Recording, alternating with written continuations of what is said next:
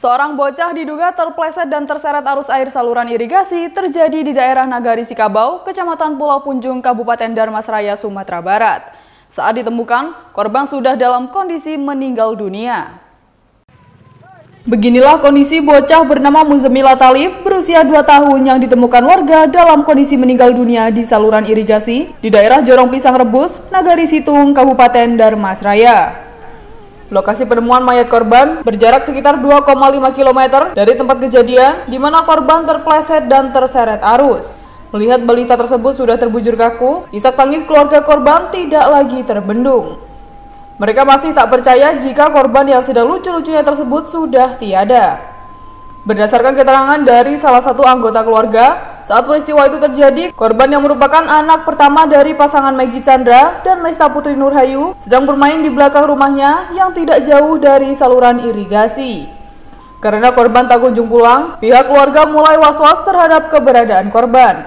Setelah dilakukan pengecekan, ternyata korban tidak berada di lokasi dan membuat keluarga mulai panik.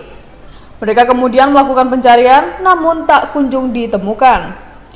Setelah cukup lama mencari, namun korban tak juga ditemukan, pihak keluarga sepakat untuk melaporkan peristiwa itu ke pemerintah setempat untuk meminta bantuan dan upaya pencarian. Tadi dihubungi oleh Bojorong Tanjung Selilo bahwasanya ada anak warga kita yang uh, tidak berjumpa di rumah uh, dengan uh, kecurigaan uh, anak ini masuk ke saluran irigasi.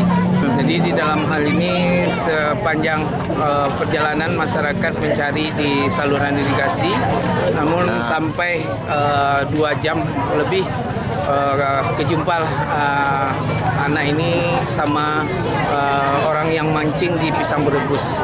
Jadi itulah sebabnya uh, ketemunya anak ini memang uh, di dalam saluran irigasi.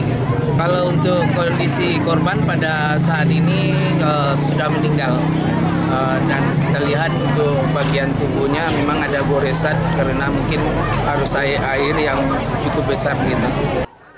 Saat ini, korban telah disemayamkan di rumah orang tuanya di daerah Nagari Sikabau, Kecamatan Pulau Punjung, Darmasraya, Sumatera Barat, untuk selanjutnya dilakukan pemakaman.